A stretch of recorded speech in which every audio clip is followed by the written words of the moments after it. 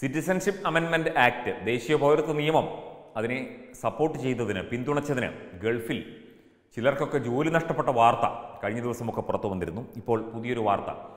ഫേസ്ബുക്കിൽ I support C A B എന്ന് മാത്രം പോസ്റ്റിട്ടതിന് ദുബായിലെ ബ്ലൂമാർട്ട് സൂപ്പർ മാർക്കറ്റിൽ ജോലി ചെയ്തിരുന്ന ഒരു വ്യക്തിയുടെ ജോലി അവിടുത്തെ ജിഹാദി ഗ്രൂപ്പുകളും അതുപോലെ അവിടുത്തെ മുസ്ലിം തീവ്രവാദികളും ചേർന്ന് തെറിപ്പിച്ചതായിട്ടുള്ള റിപ്പോർട്ടാണ് വരുന്നത്. അതായത് തങ്ങൾക്ക് സ്വാധീനമുള്ള മേഖലകളിൽ തങ്ങൾ പറഞ്ഞ കേൾക്കുന്ന മുതലാളിമാരെ ഭീഷണിപ്പെടുത്തിയും അവരെ വിരട്ടിയും ഇപ്പോൾ ജോലി കളയിക്കുന്ന ഒരു സംഭവമാണ് നടന്നുകൊണ്ടിരിക്കുന്നത്.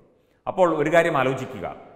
ഈ ഗൾഫ് രാജ്യങ്ങളും അതുപോലെയുള്ള മറ്റ് രാജ്യങ്ങളൊക്കെ തന്നെ ഇന്ത്യയിലെ ഒരു നിയമത്തെ അംഗീകരിച്ചതും അതിനെതിരെ നടത്തുന്ന പ്രക്ഷോഭങ്ങൾ വിലക്കിയതുമാണ്.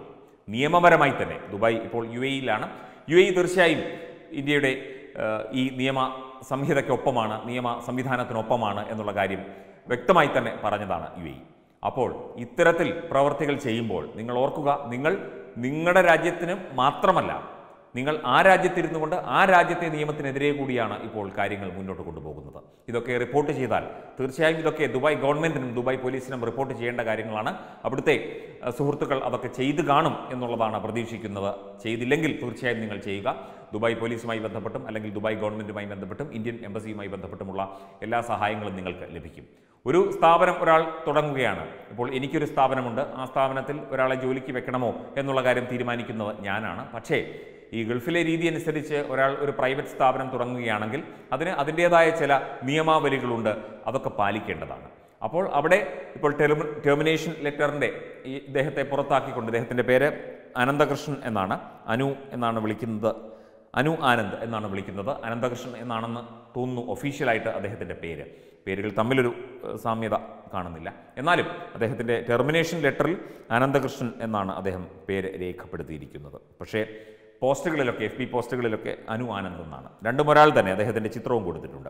I support C A B and N R C എന്ന് പറഞ്ഞ അദ്ദേഹം തന്നെ എഫ് ബിയിലിട്ട അദ്ദേഹത്തിന്റെ പ്രൊഫൈൽ പിക്ചറാണ് ഇപ്പോൾ വാട്സപ്പിലൂടെയൊക്കെ പ്രചരിക്കുന്നത്. ഇത്തരത്തിൽ ജോലി കളയാൻ നിങ്ങൾക്ക് എന്താണ് അധികാരം? മറ്റു രാജ്യത്തിരുന്നു കൊണ്ട് അതും ആ രാജ്യത്തെ ഭരണ സംവിധാനം നമ്മുടെ രാജ്യത്തിനൊപ്പം നിൽക്കുമ്പോൾ നിങ്ങളീ ചെയ്യുന്നത് തെറ്റാണ് മാത്രമല്ല തീ കൊണ്ടുള്ള കളിയാണ് എന്നുകൂടി മനസ്സിലാക്കുക. നിങ്ങൾ നിങ്ങളുടെ മാതൃരാജ്യത്തേക്കാണ് മടങ്ങി വരുന്നത്. അതും ഓർക്കുക. അന്യരാജ്യത്ത് ജോലി ചെയ്യുമ്പോൾ ഒരാളുടെ ജോലി കളയാൻ ഒരാൾ അയാൾ തെറ്റ് ചെയ്തിട്ടുണ്ടെങ്കിൽ തീർച്ചയായും അയാളുടെ ജോലി പൊക്കോട്ടെ അല്ലെങ്കിൽ ആ രീതിയിൽ പൊക്കോട്ടെ.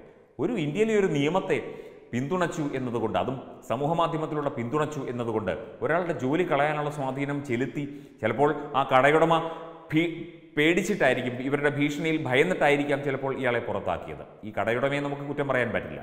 ഇവർ ചുറ്റും കൂടി നിന്ന് ആക്രമിക്കുകയോ അല്ലെങ്കിൽ വേറെ എന്തെങ്കിലും ചെയ്യുകയോ അല്ലെങ്കിൽ അവർ കൂട്ടമായി ആ കടയിൽ വരാതിരിക്കുകയോ ഒക്കെ ചെയ്തു കഴിഞ്ഞാൽ തീർച്ചയായും അദ്ദേഹത്തിന് ഭയമുണ്ടാകും.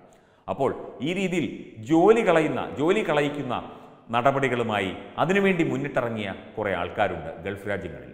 അപ്പോൾ നിങ്ങൾ ഓർക്കുക നിങ്ങൾ ചെയ്യുന്നത് നിങ്ങളുടെ രാജ്യത്തെ നിയമ സംവിധാനത്തോടുള്ള തെറ്റ് മാത്രമല്ല ആ രാജ്യത്തെ നിയമ സംവിധാനത്തെ വെല്ലുവിളിക്കൽ കൂടിയാണ്. അപ്പോൾ ഇത്തരത്തിലുള്ള കാര്യങ്ങളൊന്നും ചെയ്യരുത്. ഒരാൾ ഒരു തൊഴിൽ തേടുന്നത് എത്ര കഷ്ടപ്പെട്ടിട്ടായിരിക്കും. നിങ്ങൾക്ക് തൊഴിൽ നഷ്ടപ്പെട്ടാൽ എന്താകും എന്ന് നിങ്ങൾ ചിന്തിച്ചിട്ടുണ്ടോ? നിങ്ങൾക്ക് അങ്ങനൊന്നുമില്ല. ഇന്ത്യയെ തകർക്കണം എന്ന ചിന്തയുമായി നടക്കുന്നവർക്ക് അന്യരാജ്യത്ത് തൊഴിലെടുക്കുന്ന ഇന്ത്യക്കാരെ പറ്റി എന്ത് എന്ത് ചിന്തയാണുള്ളത്? നിങ്ങൾ ഇന്ത്യൻ പൗരൻ എന്ന രേഖയുണ്ടായിരിക്കാം അല്ലെങ്കിൽ ഇന്ത്യൻ പാസ്പോർട്ട് നിങ്ങളുടെ കയ്യിലുണ്ടായിരിക്കാം. അതുകൊണ്ട് ഇന്ത്യക്കാരനാകണം എന്നില്ലല്ലോ. അപ്പോൾ ഇനിയും ഇത്തരത്തിലുള്ള നടപടികളുമായി വന്നാൽ തീർച്ചയായും ഇവിടെ ഒരു നിയമ സംവിധാനമുണ്ട്. ആ രാജ്യത്ത് യു എയിലായാലും വേറെ ഏത് രാജ്യത്തായാലും അവിടെയും ഒരു നിയമ സംവിധാനമുണ്ട്. അത് തീർച്ചയായും ഉണർന്ന് പ്രവർത്തിക്കും. നിങ്ങൾ നിങ്ങൾ ചെയ്യുന്ന ഈ തെറ്റിന് അല്ലെങ്കിൽ നിങ്ങൾ ചെയ്യുന്ന ഈ കടുത്ത അനീതിക്ക് നിങ്ങൾക്ക് തീർച്ചയായും അതിനുള്ള മറുപടി ഉറപ്പായും ലഭിക്കും. വെബ് ഡെസ്ക് തത്തുമൈ ന്യൂസ്.